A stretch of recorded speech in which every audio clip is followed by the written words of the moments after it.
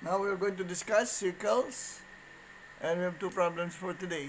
The first one, the radii of the two circles in the given figure are 3 and 8 and the distance between the centers is 13. And we are asked to find the length of the common external tangent. So these are the two circles that we will consider. the first one having a radius of 3 and the second one is 8, no? Uh, let's say in inches, no? So, this is circle C and this is uh, circle E, now We are asked to find the common external tangent, no? AB. So, as you can see, we draw a parallel line from C, no? From C to the radius of the second circle and label it uh, equal to the radius of the small circle and the remaining part of this uh, radius here is 5 no? so we have here 8 the radius of the big circle and 3 the radius of the small circle and the distance between the centers uh, is 13 no? so to find AB we need to find, no? So this is CD, label this as CD. So if this is CD, eh, here,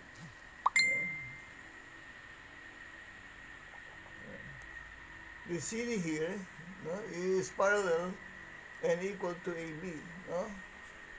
So to get CD, we are actually getting AB. So to get CD, uh, we are going to use the Pythagorean theorem. CD square is equal to 13 square plus 5 square. So 13 square is 169 and 5 square is 25. No? Adding the two uh, entity here, we have 194.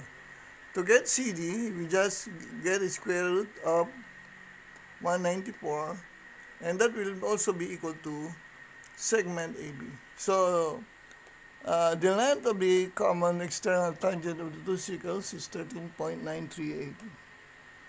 So we go now to the second problem. No? We have one circle here. And we are asked to find the measure of angle USB. You know? Angle USB here. So this is the uh, central angle. And we are given here this uh, arc tx is equal to 130 degrees.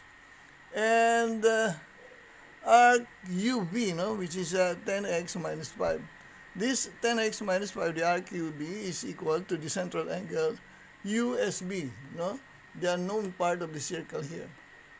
So uh, we have here uh, angle or arc pi arc wb is 5x which is equal to uh, the central angle WSB. You know?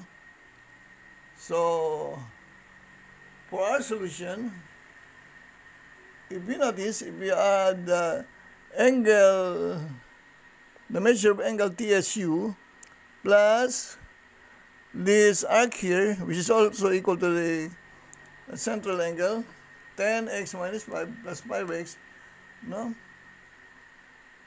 All of this is equal to 180 degrees. No? So TSU 10x and 5x. No? This diameter here, the half circle, is equal to 180 degrees. So we just rearrange, no? So measure angle TSU plus 5x, no, this 5x here, and then the plus 10x that will be equal to 15x and we transpose negative 5 to the right side of the equation, we get here 180 plus 5. So measure of angle TSU is equal to 180 minus 15x. Now we also notice here, measure of angle TSU, not TSU, or this arc here, plus this uh, the given arc is here 130 degrees, no, that will be equal to the half circle uh, UTX, no? The half circle UTX. So, measure of angle TSU plus 130 is 180. So, to get the measure of angle TSU is equal to 180 minus 130, and that will be equal to 50 degrees. So, from equation here, from equation 1, no, since we get the value of TSU to be 50 degrees, you just substitute, no, direct, direct substitution, of 50, no,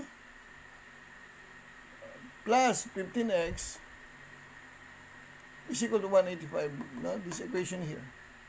So 15x, you transpose again 50, degree, 50 degrees to, that this becomes a negative 185 minus 50. So 15x is equal to 135. To get the value of x, we divide 135, both sides of equation by 15. 135 minus over 15 is equal to 9. After getting this value here of x, we just substitute uh, uh, this value here to the equation of 10x minus 5, no? Because 10x minus 5 is equal to uh, the central angle USB, no? which is the unknown. So the measure of angle of arc UB is equal, equal to measure of angle USB, the central angle, is equal to 10x minus 5. We substitute 9 to the x, so 10 times 9 is 90 minus 5 is 185. So that's how we're going to solve this kind of problems. No? And then uh, thank you again for watching our videos for today. And please don't forget to subscribe. And if you have uh, some uh, suggestions or comments, please send it to us uh, uh, using a, the English language. Huh? That's the only language that I know, Filipino or English. So thank you again for viewing and see you again later. Bye-bye.